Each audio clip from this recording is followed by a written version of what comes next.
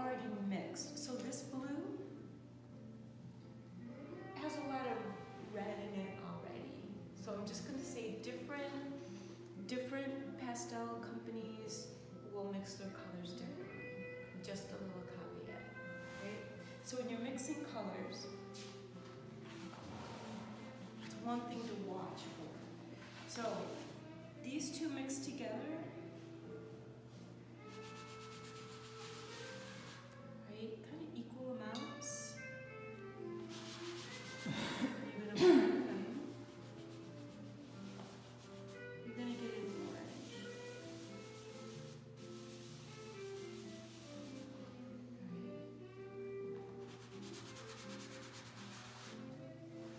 Some some of these sets that you get are nice in that they'll already have your primary,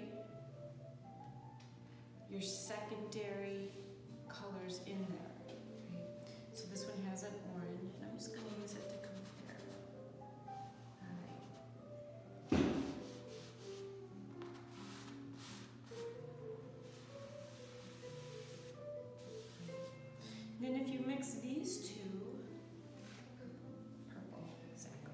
So this set has a purple in there, and I'm just gonna go and put this purple in.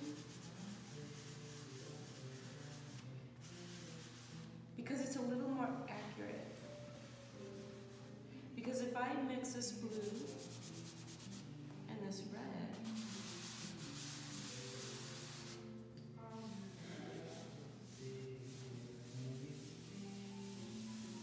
so it's becoming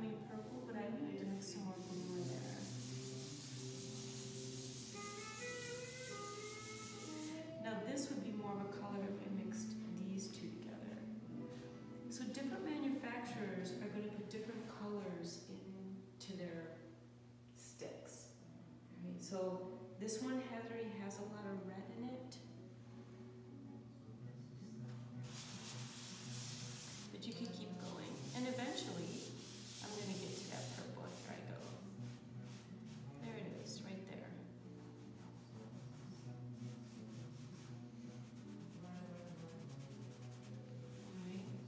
Okay, so what about my blue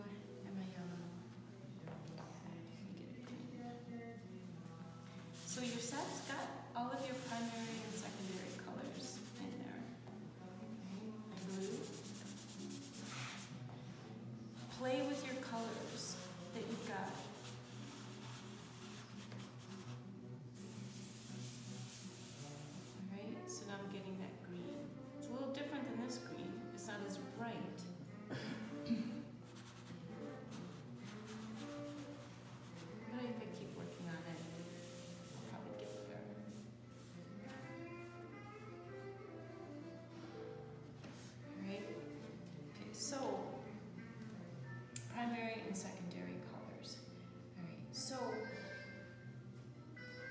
I say I want yellow uh, in my in my drawing, but I want it to be darker, what what would you think of doing?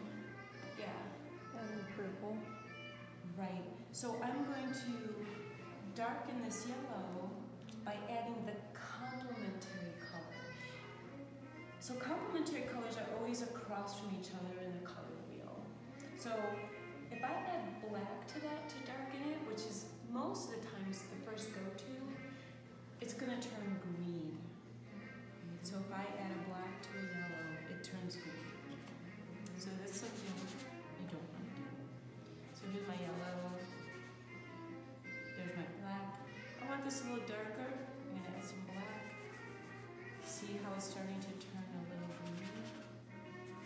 It's not. That's not really what I want.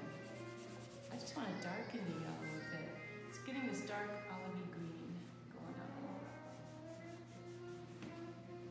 So what I'm gonna do is I'm always gonna darken my colors or gray them back or shade them with the complementary color, right? So I wanna darken that yellow. Just like Emily said, I'm gonna go in with my purple. Just a little bit.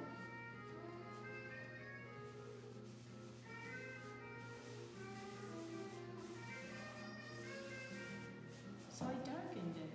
Here's my original. See? Now, I darkened it quite a bit. I probably didn't have to add that much purple. Depending on how dark you want it. So that's what you want to do when you're mixing colors and darkening. So when you look at part of your face, some of you are working with emotive color, some more realistic color, you want to darken by adding in the complementary color, not adding black. It'll look muddy, it'll shift the colors to where you don't want them to be. So it's the same for everything. So if I want to darken this green, I'm going to add a little red. I want to darken that red, I'm going to add a little green. So it's always this crisscross across the color wheel. Are there any questions on this? Okay, so I use a couple terms, tinting and shading. So I want you all to try this at some point today. So again, let's just say yellow and purple. If I have yellow, and I want to make a yellow value scale, I can go just like this, is what we're working in in black and white with your charcoal. My black to white, my yellow to white. So I'm just going to keep adding white and yellow till I get all the way to white. And that's my value scale.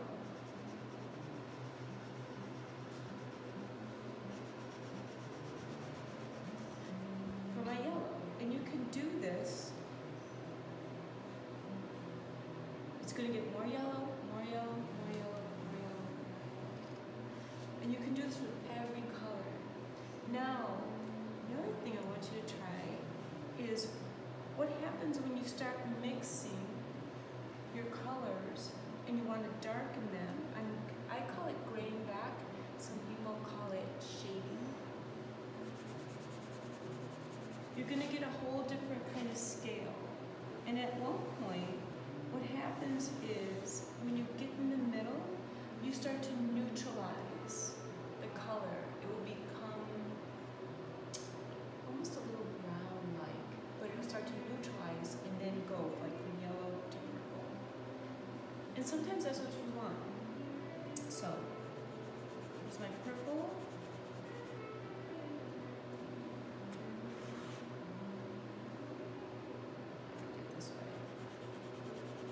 So these are fun scales to work with.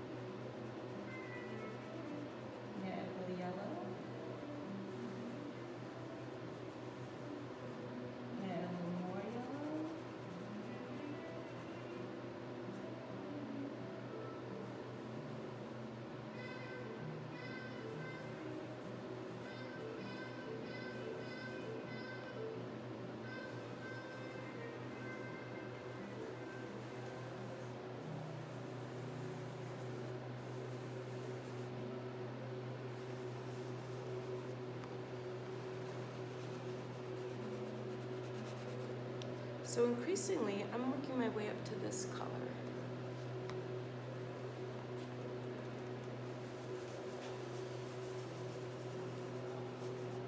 Does everyone see how that's progressing? All right, so these are complementaries.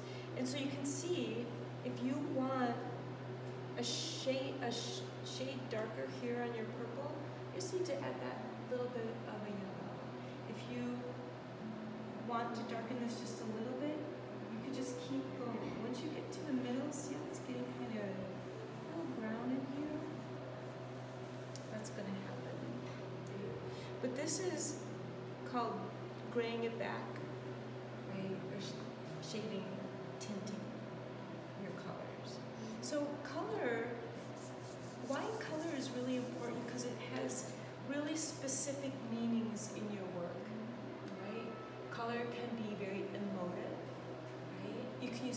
fantastical colors, as long as you know what colors work next to each other well, you can use your value scales and put greens next to purples, next to lime greens, next to bright oranges, as long as the value works, because you still are describing form, light to dark, right? So even though you might say, it's yellow, it's light, mm, not so much. The values might be the same. Green is darker than yellow, depends on the value, right? Does that make sense to everybody?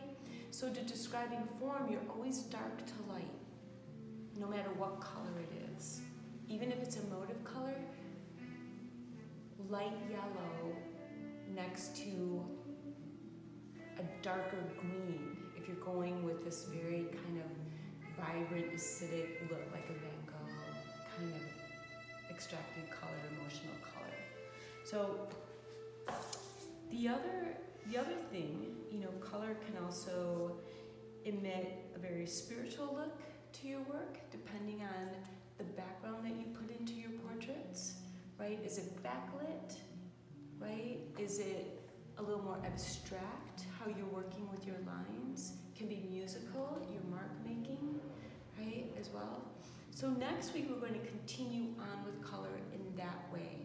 Your mark making is how it opposed to aligns with color and what you want the viewer to extract from your piece. Is it very emotive? Is it abstract? Is it kinetic with movement because of the color? So we're going to talk about that next week. Any questions on any of this?